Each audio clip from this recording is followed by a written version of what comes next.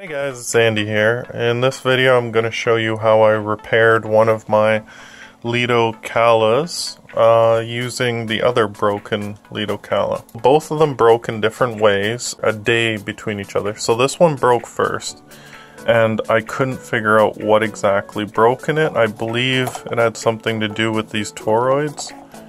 I believe, but I might be wrong. It was completely unresponsive it would warm up though, so it was getting power all the way down to this part of the circuit board. It was 100% unresponsive. So, okay, whatever. I ordered two more because they're 25 bucks for me and I can't get anything else that's a good price and reliable. So I'm just gonna buy those. So anyways, and the second one, I had one of these batteries. It, uh, because they're sitting upside down, it actually leaked, like, uh, it leaked its electrolytic through the top, because it's pointed upside down. And it leaked all over the board, and went on the back of this. I believe it's the other one. Alright, it leaked down into here. You can't really see it, but it's this really fine electrolytic. Uh, it smells like lithium. The unit would start up just fine, but none of the buttons would respond. So I took it apart, I heavily examined it, and then I took a big risk, just assuming on gravity that it would the liquid would flow this way. I couldn't see any of that liquid anywhere around this section, but I could see a lot of it around that button. And there's a bunch of resistors down in there, but those wouldn't have any issue at all. So I cleaned the surface, it still wouldn't work. So then I assumed, okay, that liquid got inside the button and has shorted out the button permanently.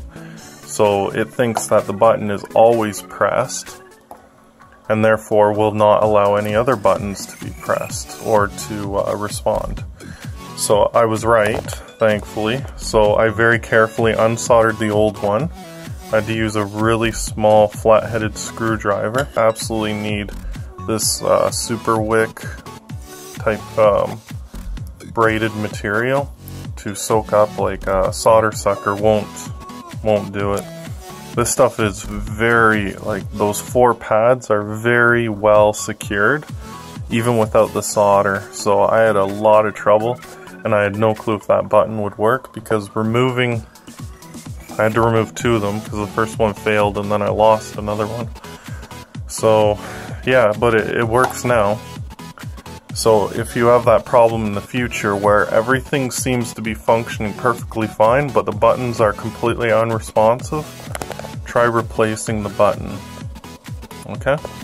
As for the other one, I really have no clue. I, I can try resoldering on these toroids, see what happens, but I've got a strong suspicion that it won't matter. I asked Average Joe what he thought was the best charger. He recommended the Fox Novo F-TAC 4S. Unfortunately, in Canada, the only place I could find it is on eBay for almost 50 bucks, and it's unfortunately very identical to the Lolito Kai. I'm gonna have to go with it for 25 bucks. You can't beat that price. All the others are at $50 or more the join run S4, it only does charge milliamp hour measuring. It does not discharge, so it's it's not good at all. You can't use that. The XTAR Dragon, I asked to be the plus version. It has to. Um, it's very expensive. It's a luxurious version. Um, too expensive. I'd prefer to get an Opus at this point, but uh, at 47 bucks, it's it's still too much compared to 25 bucks. If you have one that you prefer or know of that's better or reliable, uh, please post in the comments. I'm sure not just myself, but other viewers would appreciate it. And uh, I'd be very interested to hear uh, what kind of success or failures you've had with these different units. And then here's the other option, the HW586 it ends up being the same price as buying a Lido Kai, right? Uh, this is all Canadian, remember that. So your mileage may vary heavily because apparently Canadian economy is absolute garbage. This would mimic like a Lido Kai right, as TP4056 is. I forgot to put the double pull, double throw switches in there as well. It would cost more to build your own. The only upside is that this unit can discharge a lot faster, so you can go through a lot more because they give you two of these resistors, right? So I have them in parallel right now and I'm doing a bunch of testing. And if it's good, I'm gonna buy three more of these guys and I'm gonna build my own charger. I should because it's only like 14 bucks, right? Because I have all the other parts, okay? So I'd use, you know, four of these, four TP46s, one of these, and then four of these units, and then some heat sinks. Well, I have all the parts except for three of these HWs, right? So I'm testing out different batteries. Some of these are 3 volt low, others are 2.75 low. So I'm going to do a bunch of testing and see how good it does. You're screwing the screws back in on these on this back plate.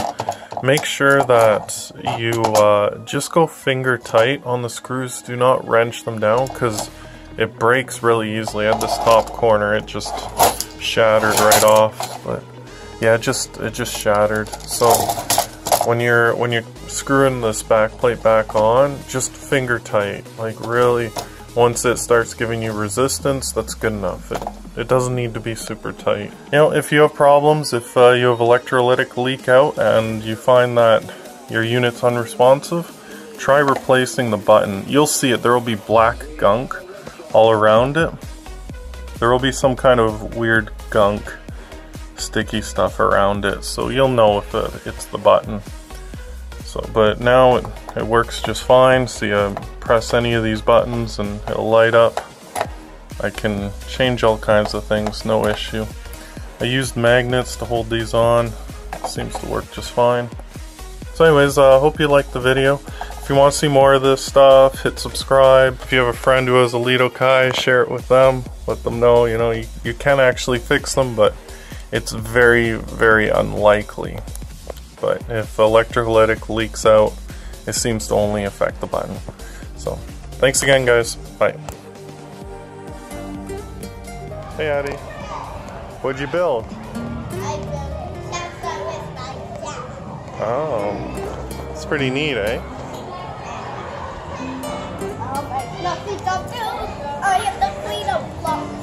You want to destroy it? Let's destroy it. destroy it. Yeah.